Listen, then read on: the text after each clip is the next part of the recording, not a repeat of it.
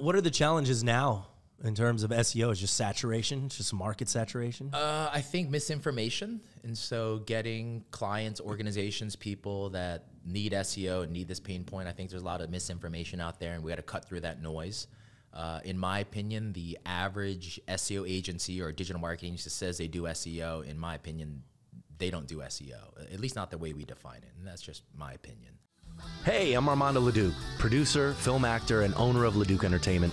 I've chosen a life off the beaten path and wanted to find others that are doing the same. Spaghetti on the Wall is a show based on all of the years that I've thrown spaghetti on the wall and nurtured what stuck. We will share fun stories, ideas, tips, tricks, and more. Welcome to Spaghetti on the Wall.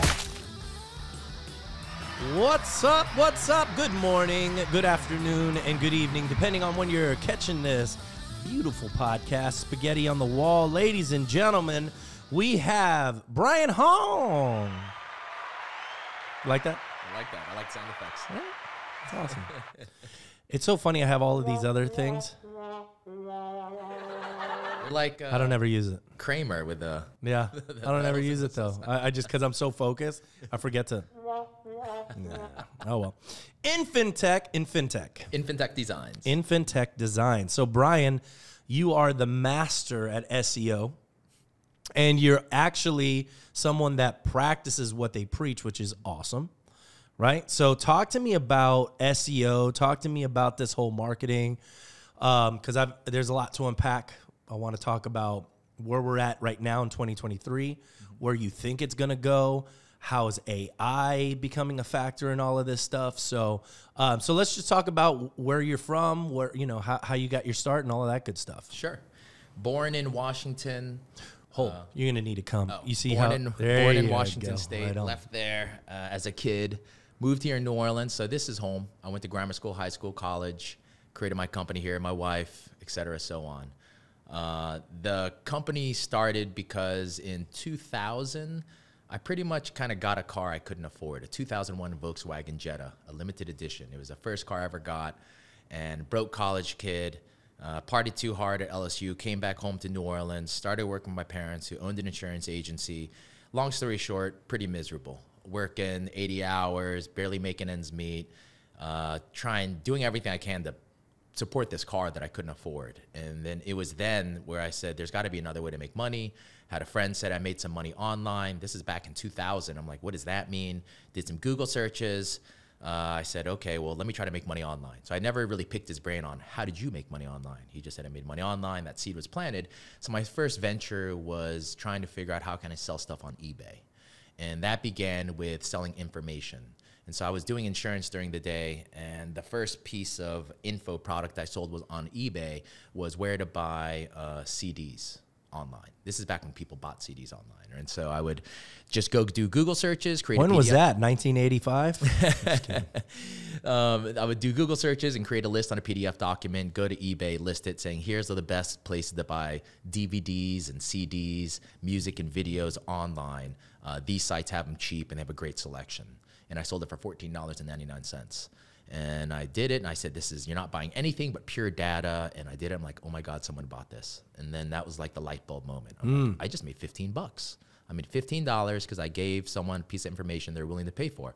Huh? How do I automate this? How do I scale it? How do I do more?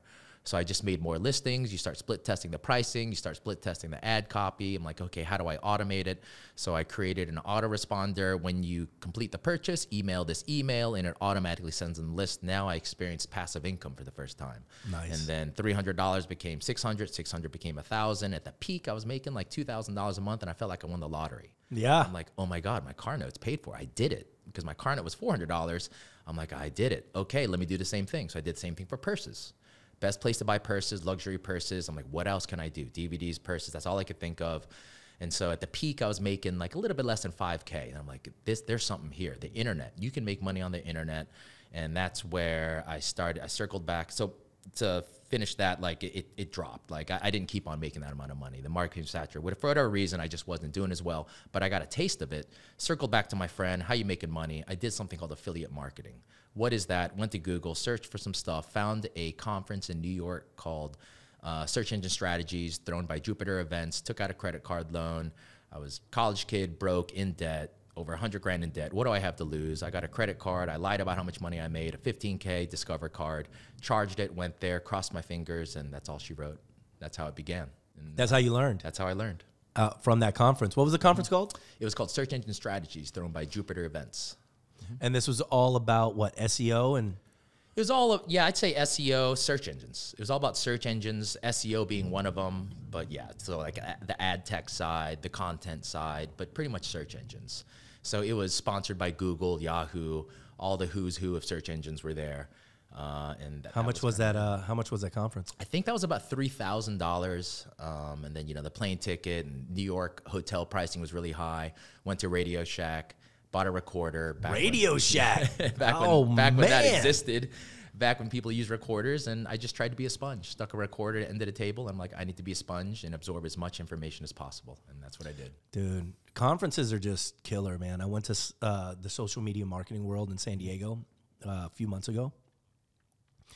Just the networking and the knowledge to come back and then start implementing changed the game. Yeah. So yeah, if you're out there, go to conferences, start learning. So, so this was when? What what year is this? Because you're talking Radio Shack. Yeah, this was 2000. Yeah, Yeah. 2001 was kind of the beginning of my SEO journey. So at that point, I mean, it's you know, so you've seen every iteration of of uh, of how this works. So I'm sure you you know you've gotten really really good at what you do. Obviously, since 2000, with 23 years of doing this, man. It's changed a lot. I mean, Google was just being born, and back then the leader was Yahoo. So it was all about Yahoo, less about Google, and today it's all about Google.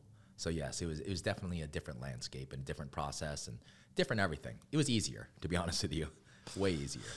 So what's the um what are the challenges now in terms of SEO? Is just saturation, It's just market saturation. Uh, I think misinformation, and so getting clients, organizations, people that need SEO and need this pain point. I think there's a lot of misinformation out there, and we got to cut through that noise. Uh, in my opinion, the average SEO agency or digital marketing agency says they do SEO. In my opinion, they don't do SEO, at least not the way we define it, and that's just my opinion. well, how do you define it? What do you Uh? So most of the times, not always, the average agency I hear, I'm doing SEO. It's mostly I'm doing content. I'm going to post on your website, right? They're not really optimizing. But SEO is to me broken up in four categories. You have technical SEO, on-page SEO, off-page SEO, and local SEO. And each of those buckets have different needle movers and different processes. And I don't feel like the average agency focuses on all of those buckets. But you do. So tell me a little bit, and without going into going into mega detail, but like, what's the difference between between these four? So, like technical SEO could be uh, site speed. It could be how your site is structured, crawlability of your website, Google's ability to come to your website, absorb and collect information, uh, them scanning certain pages. You can control that with a well optimized technical SEO plan. And then on page SEO, that's kind of easier for people to understand. That's like the words on your page. The words on your page, your content, um, linking of your page, uh, structuring of your content, where that content exists, uh, how each piece of content links to another piece of content. That's kind of all on page SEO. Off page SEO, that would be someone else linking to you.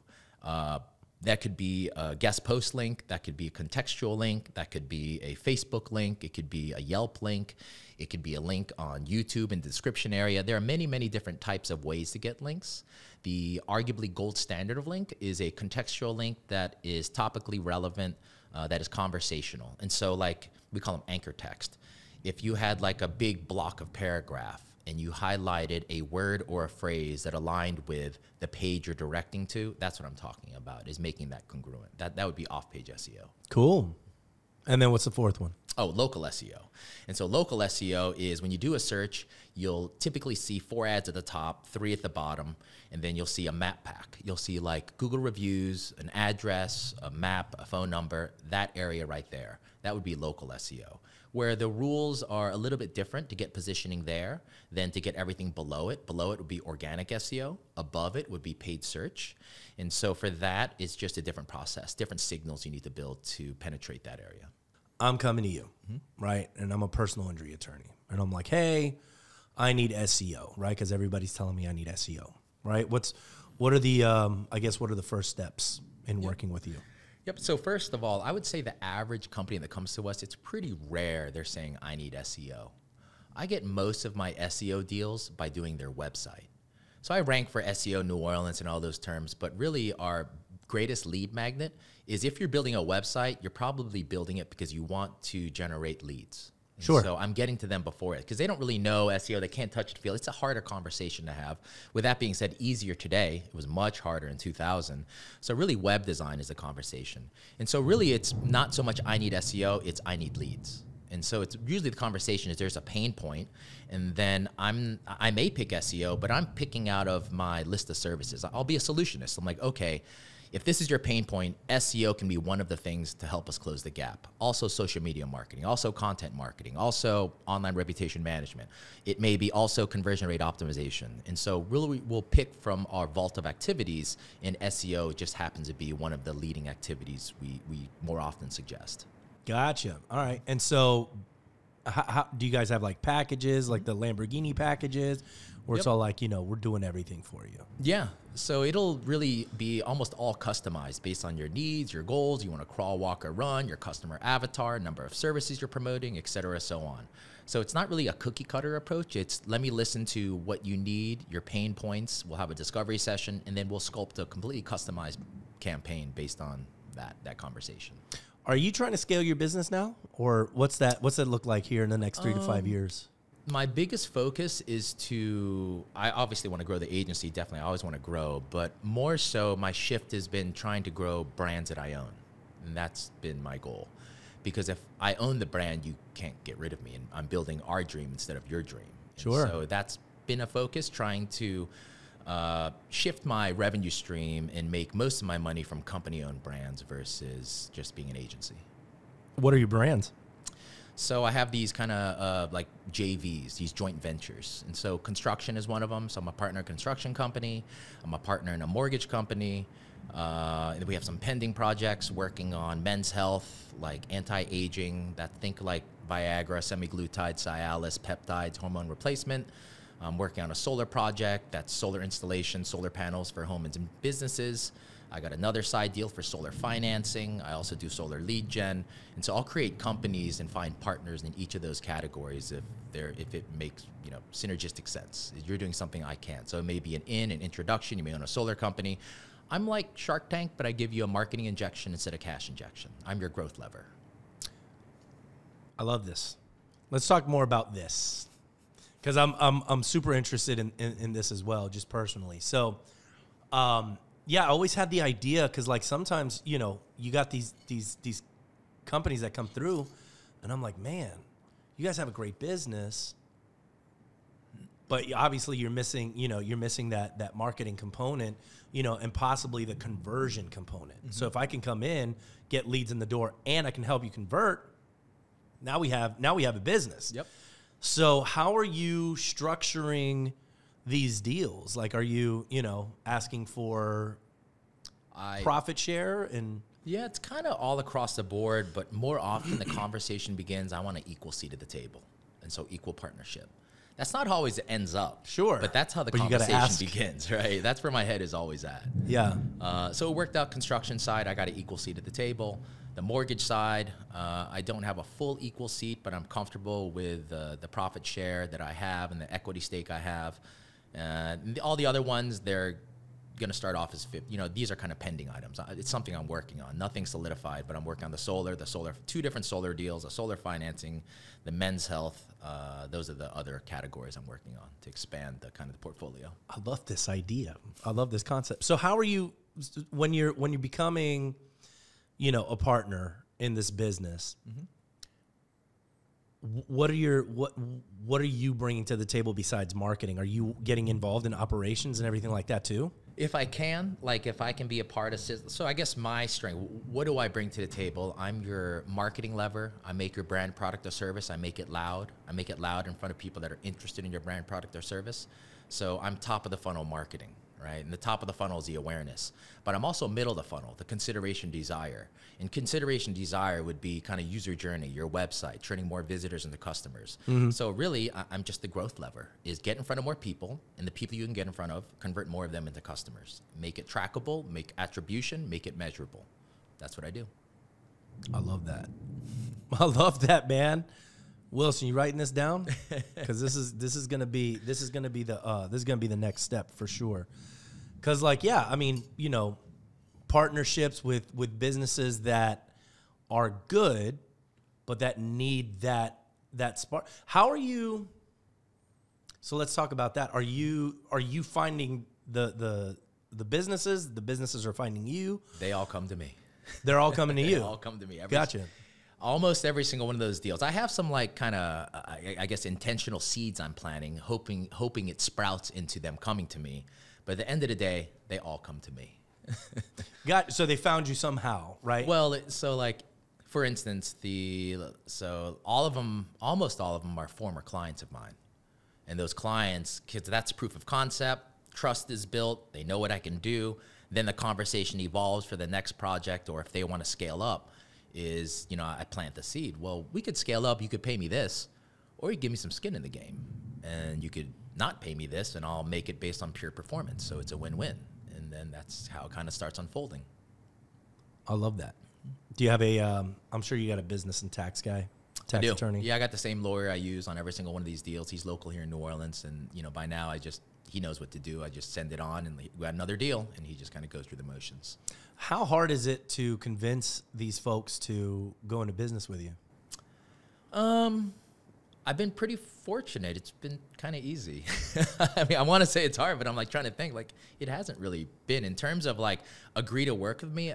I, I don't. I haven't put my finger on exactly what I'm doing right because I, I would do more of it to try to figure out how do I get get more businesses. But I don't know. They're all saying yes, and they're all coming to me, and it's not a lot of friction in, in convincing because again, they're coming to me, right? Right. They're usually pitching in. Not always. Like I'll, I'll they'll come up with the idea and say, well, what about this version? What if we have another version of what we're talking about, but you have a lower upfront risk? I assume is some of that risk, but I get a bigger payout on the back end. That's mutually beneficial because you have a lower barrier to entry, and you're. I'm only going to make money if this works. So why wouldn't you do this, right? I'm putting my money where my mouth is. I'm confident that I can make this work, but I need a piece of the outcome. And then they're like, "Yeah, Yeah. let's go." So, yeah, so I just did the real est- actually got a bunch. I'm part of a pending one, an AI content one that kind of happened like that. I got a real estate project I'm working on where I get uh, it's Florida real estate too, so it's like really expensive houses. So every deal now, I- I'm trying to create a version of because really I'm just doing the same thing as a client. It's a little more work. I- I'm essentially kind of a fractional chief marketing officer. Right. And in exchange of doing that, you're going to give me a piece of your company, a royalty, or some type of license deal. That's kind of how I work them. How are they? And and so it's all tracked on on I guess the the the tax, the taxes and all. Are you getting paid quarterly, monthly? So some of them every two weeks, some of them every month, some of them, you know, all across the board. It just kind of depends on the deal. But more often, the, more often it's it bare minimum at least every month. The construction's every two weeks. Yeah. I love that. Fuck, dude, that's great. End game is sell it, flip it, and have an exit. You know, that's the end game. Is that how you met Joel? I met no, I didn't. I met Joel because of my brother. Hey, Joel, how's it going, Joel Duran? I saw that podcast. No, I met him because my brother. My brother kickboxed with him. That's how I initially first met him. That's cool, man. Yeah. So yeah, I'm just getting I'm, I'm just getting uh, a little bit more knowledge in this whole, you know, exit strategy and business valuations and you Yeah. know, mergers and acquisitions and stuff. So I, I like the concept of you know, hey, if we're gonna help you build the business. My my only thing is like, how much time is this is this taking away from you know from you and like being able to do whatever whatever it is you want because i mean you know running a business is Yeah. I'm pretty good. I'm pretty systemized, productized. We have a very detailed SOP. I have an amazing leadership team. I have a six person leadership team that uh, allows me to do more with less. And so, uh, my biggest bottleneck, I would say, is plugging you into my system. The system is kind of very systemized, productized. We have a great SOP and a great team, but I- do 100% of my sales, right? It's, it's all me. I, I am the bottleneck. Is having a conversation with you, having that discovery session, building that initial blueprint, and then plugging you in. That's the bottleneck. plugging them in and so where you stop is once the lead has been con, uh, converted into a into a uh, into a client Uh, I wouldn't say stop, but way less time involvement for me because then it's just like weekly meetings with my team, thumbs up, thumbs down, uh, it's really kind of blueprinting, right? Overall, big picture. We need more of this activity, less of this. Here's an efficiency. How do we do this better? Or what do we need to change? What is a different perspective? And what are these barriers and how do we overcome them? Stuff like that. How do you like- bounce? How do you bounce if if if the if the business owner?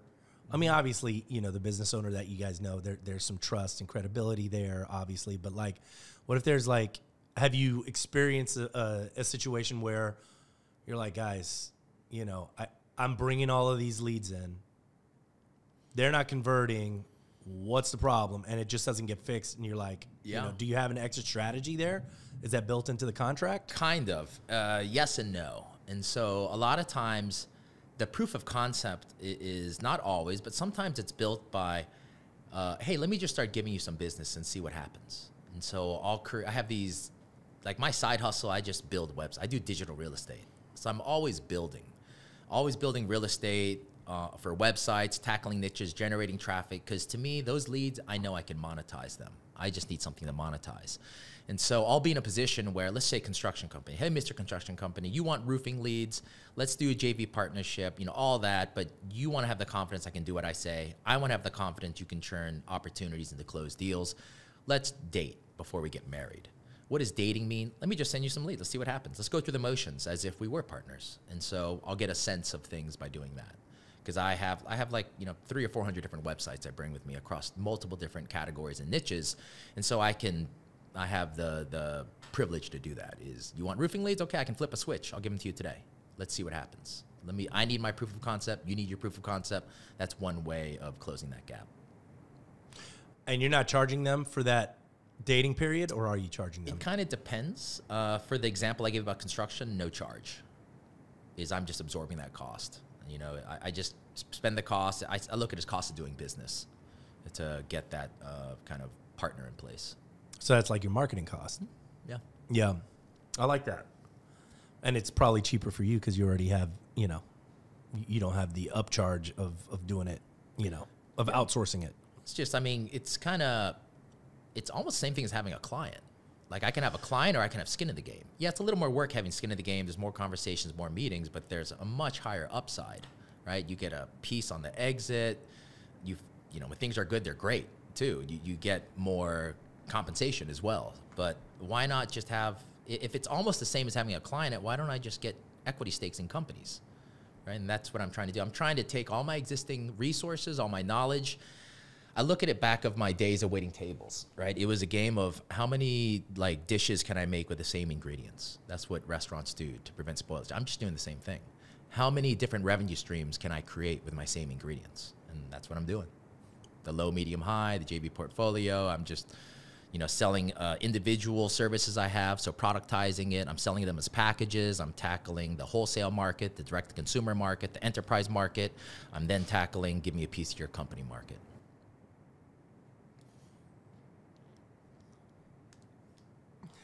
And that's why look, this is why I do podcasts.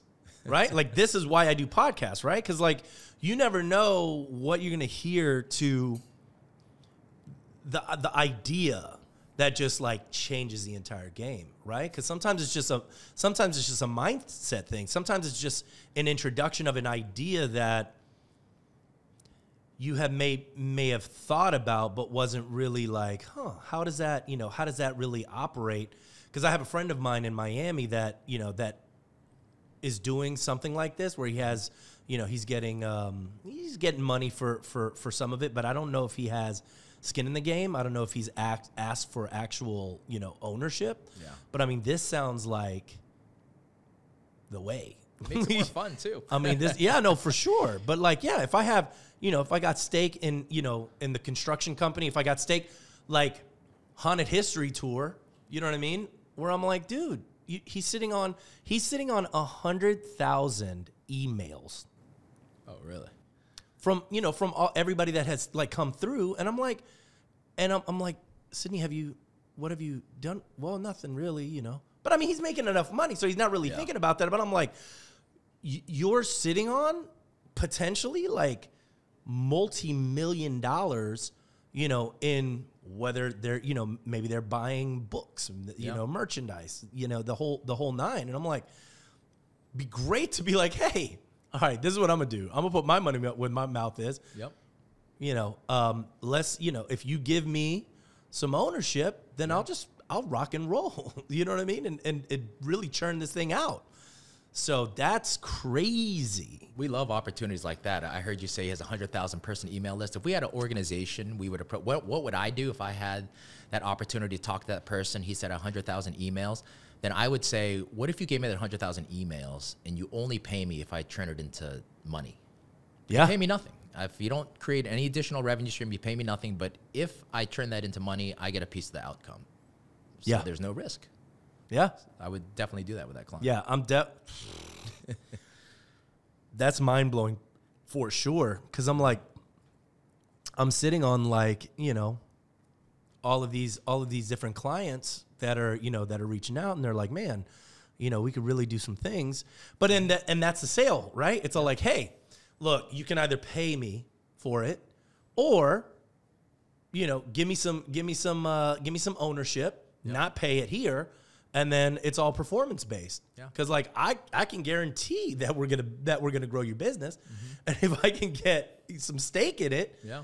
holy crap, You'll you be a what I little mean? more motivated to grow it too. 100%. right? 'Cause You got skin in the game. Yeah, Yeah. man. And I hadn't even really fun. thought about you know that in particular. You know what I mean? Like that makes so much more sense. So thank you for the idea. Sure. I'm running with it. It's, It's yours. Take it. You can have it. thank it. you. I appreciate it. Yeah. Um, let me ask you this: Is there anybody in the space that um, did you learn this from somebody else, or is this just like a trial and error sort of thing? I don't, I don't know. I just kind of did it. it. It was born because actually it started with a landscaping company. Uh, this guy, the same guy, also stole a lot of money from me, but it was a learning lesson. But it started with this guy, uh, a landscaper, and I launched a campaign with him, and it was brand new. And like in month number three, he said, I need to cancel. He's going through a divorce.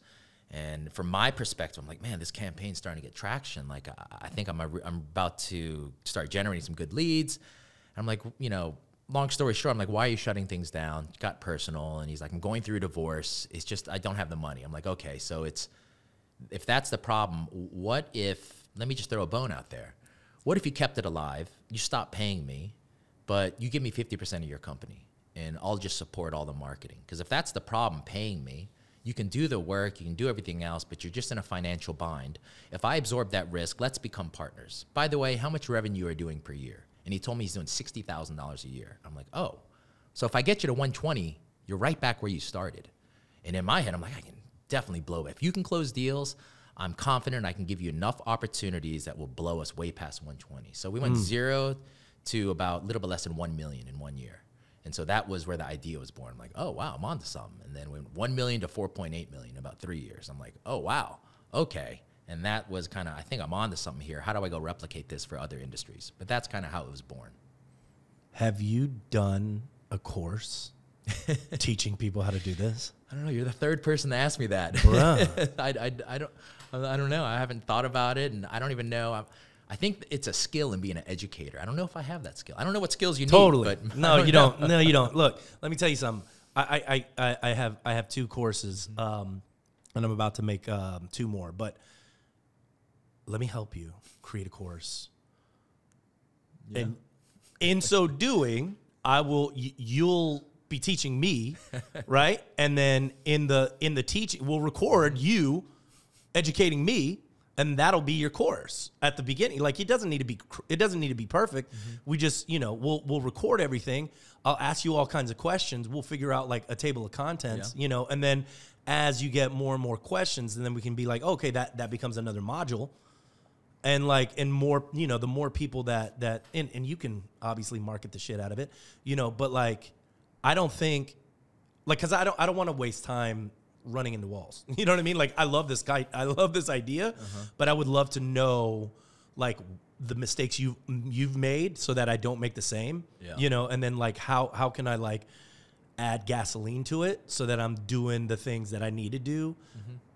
the fastest, most efficient way so that I can become profitable and not turn this into another opportunity that, you know, that just takes up time and doesn't really you know, create profit. Because that's the thing too, right? And I'm I'm totally on board with like mentorship and trying to like make that happen. So anyway, we'll have a conversation. You don't have to Always talk have about to it now, but talk. yeah. but dude, I, I think having a course like this, because I take it, you know, in a heartbeat, you know, because I think I, I think it's great, especially for marketing companies that are good at what they do, Mm-hmm. you know, and they and if they're you know if they can actually get people to come to the door, Yeah. and they can get the phone ringing, then yeah, then you ha- then you could partner with you know a ton of companies and and and man create of this a- passive income that's just It's a no-brainer for the other Whew, side. I just have to find the right people to trust, right? It's a huge trust factor. Totally. You're you're it's like getting married at first sight. you're like, "Hey, let's Yeah. have a company. I've never really I don't really know you too well, but let's have a company together." That's kind of what I'm doing. Yeah, no, for sure. But like, I mean, how long? How long before you make that decision? Every one has been so different. Like right now, I'm starting a lawn care business. That happened, pre-existing client, but it evolved. So like that was probably three months. I've been knowing this guy maybe three, four months, and now all of a sudden we have a lawn care mowing business, landscaping, right? And so like uh, another one. Let's see. Here, these are pending ones. Uh, uh, AI content project. Been knowing him less than a year. You know, I'm in a mastermind group. That could be best case scenario that evolves, and I get an equity stake in that. Uh, let's see, Men's Health. I've been knowing that guy for about three months. so these are like new things. Talk to me about this men's health business. That one I'm pretty excited about. And so that started off an existing client.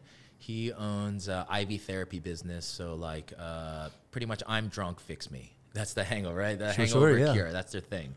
And so uh, he's a really sharp guy. Number one, I really like the guy, which makes it easier and more exciting to do business with someone you like. Totally. You get along with them. There's a good rhythm.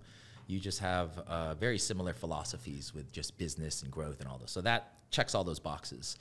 Um, but he's, I think, in the IV therapy business, that just opened up kind of more light bulbs. He's a lawyer, and so he's kind of stopped being a lawyer and he's gone the entrepreneurial route. And so now that IV therapy, I think you just start having conversations with doctors and this light bulb. Let me start men's health all over the news. Semaglutide, right? The diabetic uh, medication. I don't know if you're familiar. Yeah, the um, what's like it called? Elon Musk is taking it. The Kardashians. Everybody's taking taking it. Everybody's it. taking it. Uh, what is what what is the thing called? Semaglutide. Yeah, It's- but it was it was uh, what are they Oh, calling yeah, it's the? a, like a scientific, some fancy name that I. yeah, they're like pushing it. Um, yeah, I know. A few few of my friends are on this thing. Are you taking it? No, I'm not taking it. Yeah, because you can't eat on it. And I need to eat. I like to work out. Yeah. I can't not eat. Uh, but he was taking it. And so that's how it was born. He's like, you know, met the right person, took it, it worked for him. Hey, let me start a business out of this. And went down that rabbit hole. Well, if I'm doing this, makes sense to do peptides, hormone replacement, Viagra, Cialis, then talk to me, Brian, I have this idea. Uh, yes, you know, I like pretty much I got my proof of concept because I do all his marketing. I did his website for the IV therapy business. So that conversation began to, instead of hiring as my marketing agency, you want to just join the company? She came to me. I didn't ask for anything. It was his pitch to me. I said, well, hell yeah, no brainer. What's Yes. what's? Uh, can you talk about what that deal is? It 50-50? Is it? it's ground floor and so um, I, I don't know what it's going to turn into you know i'm going to i'll probably i always start the conversation begins at an equal seat at the table so i'm going to start it off like that if he's hearing i'm going to ask for equal partnership whether Yeah. or not it turns out to that i don't know but that's how the conversation will begin Yeah, 50-50. So that's always how it starts. that's always how it starts 50-50. Yep. And then you go down from there. Yeah. And then, like, okay, state your case, Brian, why you deserve 50 50. I'm going to state my case why you shouldn't get 50 50 is maybe I have this or. So like some deals there it, it may be it may be less so like the the mortgage deal I have 50% of the digital presence 8% of the parent company different deal because they have so much existing infrastructure and there's just more costs. It's a much bigger company. I'm not trying to go from zero to 60. I'm trying to take it from 60 to 100. So where am I within that business kind of uh, timeline? The zero to 60 is a lot more heavy lifting and it's a lot more work and there's no cash flow and it's a shoestring budget. So that's where I have more leverage to ask for 50 50, equal partnership. But a company that's trying to go maybe 60 to 100, I don't have as much leverage. They have existing business. They're going to grow with or without me. It's just going to happen, but I'm just going to help you grow faster. I want to be gas on the fire. Where the 0 to 60, I need to build your fire and pour gas on the fire. Hmm. 60 to 100, I just need to pour gas on the fire. And so it's a different kind of compensation package. Dude, that's great. that's fucking great. Brian, thank you so much, man. I can. Um, I, I'm definitely gonna be getting in contact with you.